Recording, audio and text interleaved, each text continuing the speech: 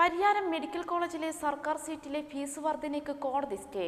സ്വാശ്രയ നിരക്കിനെതിരെ വിദ്യാർത്ഥികൾ നൽകിയ പരാതിയിന്മേലാണ് ഹൈക്കോടതിയുടെ ഉത്തരവ്. സർക്കാർ ഏറ്റെടുത്ത പരിയാരം മെഡിക്കൽ കോളേജിൽ സർക്കാർ സീറ്റിൽ പ്രവേശനം നേടിയ എം ബി ബി എസ് വിദ്യാർത്ഥികളിൽ നിന്നും വർദ്ധിപ്പിച്ച ഫീസ് ഈടാക്കുന്നത് താൽക്കാലികമായി ഹൈക്കോടതി തടഞ്ഞു. കഴിഞ്ഞ അധ്യയന വർഷം പരിയാരത്ത് ഗവൺമെന്റ് കോട്ടയിൽ പ്രതിവർഷം രണ്ട് പോയിന്റ് അഞ്ച് ലക്ഷം രൂപ ഫീസാണ് സർക്കാർ നിശ്ചയിച്ചത്.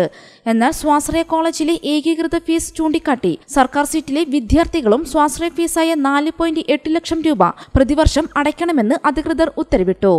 ഈ ഉത്തരവിനെതിരെയാണ് വിദ്യാർത്ഥികൾ കോടതിയെ സമീപിച്ചത്. കേസ് കാലയളവിൽ വർദ്ധിപ്പിച്ച ഫീസ് വിദ്യാർത്ഥികളിൽ നിന്നും ഈടാക്കുന്നത് ഹൈക്കോടതി സ്റ്റേ ചെയ്തു. ഇതിനിടെ കഴിഞ്ഞ വർഷം സർക്കാർ സീറ്റിൽ പ്രവേശനം നേടിയ സാമ്പത്തികമായി പിന്നാക്കമുള്ള ഇരുപത്തിരണ്ട് വിദ്യാർത്ഥികൾക്കു സ്കോളർഷിപ്പ് ലഭിക്കാത്തത് ഏറെ പ്രയാസമാകുന്നുണ്ട്. എൻ ആർ ഐ കോട്ടയിൽ ചേർന്നവരിലെ ഫീസിലെ നാലിലൊന്ന് സാമ്പത്തികമായി പിന്നാക്കമുള്ള വിദ്യാർത്ഥികൾക്ക് അതത് കോളേജ് മാനേജ്മെന്റ് സ്കോളർഷിപ്പായി നൽകണമെന്നാണ് നിയമം. എന്നാൽ പരിയാരം മെഡിക്കൽ കോളേജിൽ മാനേജ്മെന്റ് ഈ സ്കോളർഷിപ്പും അനുവദിക്കുന്നില്ല.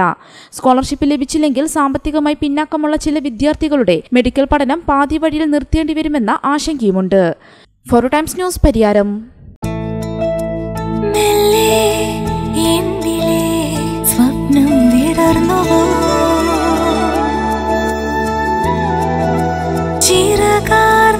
സ്വപ്നങ്ങൾ അഴകായി വിടർന്നുവോ